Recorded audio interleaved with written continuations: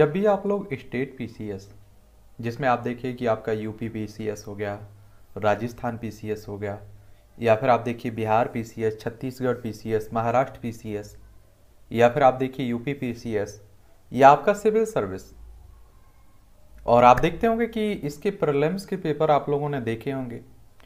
और मेरा देखिए एक सुझाव है आप लोगों को, अगर मानना चाहें तो मान सकते हैं, कोई ज़बरदस्ती तो है नहीं।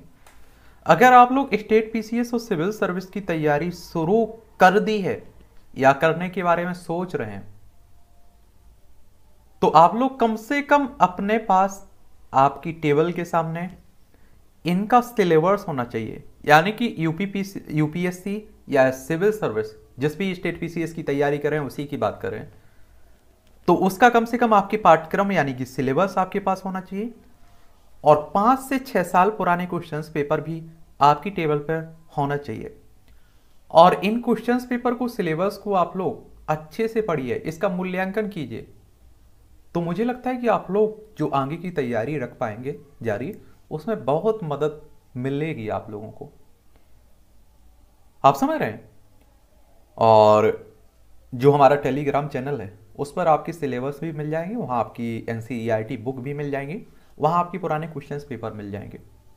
और आप लोग अभी से एन e शुरू कर दीजिए पढ़ना। और कम से कम दो से तीन बार आप लोग एन e को ज़रूर पढ़ लें।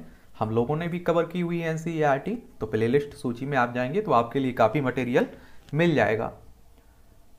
लेकिन आप लोगों ने, कई लोगों ने सवाल किया हुआ है कि हम लोग जब वनडे एग्ज़ाम को ध्यान में रखते हुए, जैसे आपका लूसेंट हो गया या किरण सामान ज्ञान बुक हो गई इन्हें कवर कर रहे थे जीके जीएस को।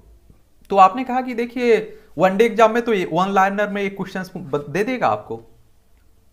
और नीचे चार ऑप्शन दे देगा एबीसीडी के रूप में, और इसमें से आसानी से हम आंसर दे देते हैं। लेकिन आप सभी जानते हैं कि सिविल सर्विस में अलग ही मैटर है। प्रिलिम्स में आप देखिए स्टेट पीसीएस में देखिए। एक लाइन में आपको एक क्वेश्चन के रूप में पूछेगा कि नीचे दिए गए कथन में से कौन सा कथन सही है, या इसके संबंध में कौन सा कथन नीचे सही है।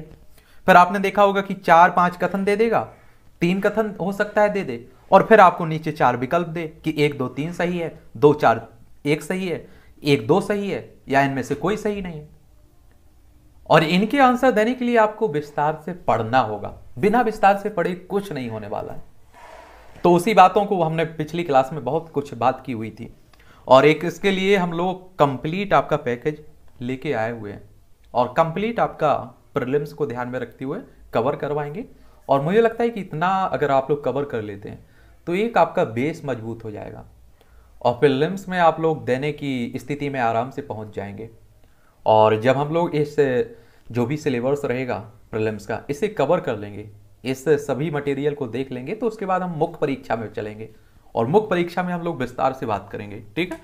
और इसके लिए स्पेशल एक आपकी प्लेलिस्ट सूची बना दी गई है। UPSC and state PCS prelims special classes के नाम से। और सबसे पहले हम लोग प्राचीन भारत का इतिहास देखने वाले हैं। किसका? प्राचीन भारत का इतिहास कवर करने वाले हैं। अब आप सभी के मन में यह भी सवाल आ रहा होगा कि आखिर हम लोग प्राचीन भारत के इतिहास में क्या क्या कवर करने वाले हैं? क्या क्या कौन कौन से टॉपिक पढ़ेंगे? और एक एक टॉपिक को हम लोग कवर करेंगे। और उस टॉपिक पर आप देखिए गहन अध्ययन करेंगे हम लोग। तो मुझे लगता है कि आप लोगों को भी पढ़ने में मज़ा आएगा और हमें भी आएगा मज़ा। हमारा भी आनंद ही लेंगे हम लोग मिलके। अगर आपके कुछ सुझाव हों तो आप लोग ज़रूर बताइएगा उन्हें। उन्हें भी देखेंगे, उन्हें भी मानने की पूरी कोशिश रहेगी। ठीक है? तो आपके सामने ये विषय सूची है कि आने वाली क्लासों में हम लोग प्राचीन भारत में क्या क्या पढ़ेंगे। तो सबसे पहले हम लोग प्रागैतिहासिक और तामपाषाण काल के बारे में बात करेंगे। एक सामान्य जानकारी देखेंगे हम लोग।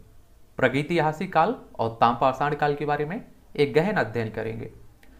दूसरे चैप्टर में हम लोग हड़प्पा सभ्यता के बारे में पढ़ेंगे और आप सभी जानते हैं कि हड़प्पा सभ्यता से भी आपकी परीक्षाओं में क्वेश्चंस पूछता है।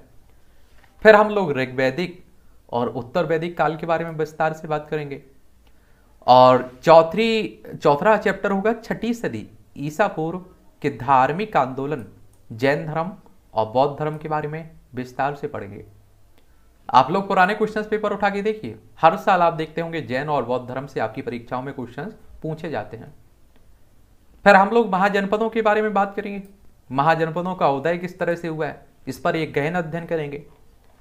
मगध का उदय, मगध पर भी बात करेंगे। फिर हम लोग मौर्य साम्राज्य के बारे में पढ़ेंगे। किसके?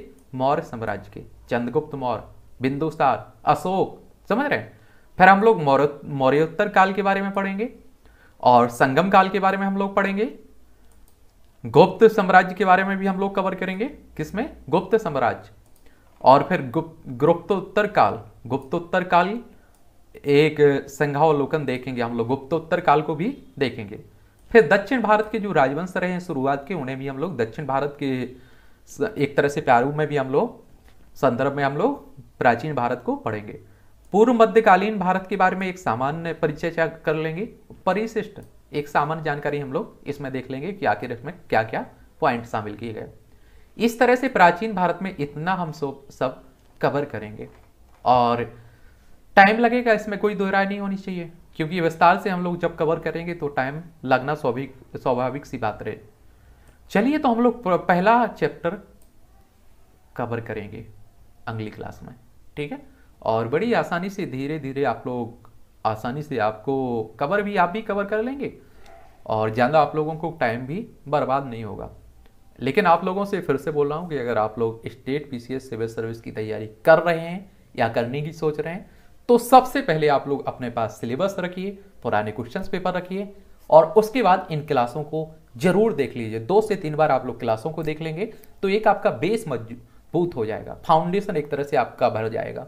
आप एक मकान देखते हैं ना कि नी भरी जाती है। तो ये सभी क्लासें आपकी नी भरने के लिए एक तरह से। ठीक है? और इसकी फिर से सुन लीजिए एक बार प्लेलिस्ट सूची का नाम है UPSC and state PCS prelims special classes के नाम से। और इसमें सभी आपकी क्लासें लाइन से आपको मिल जाएँगी। ठीक है?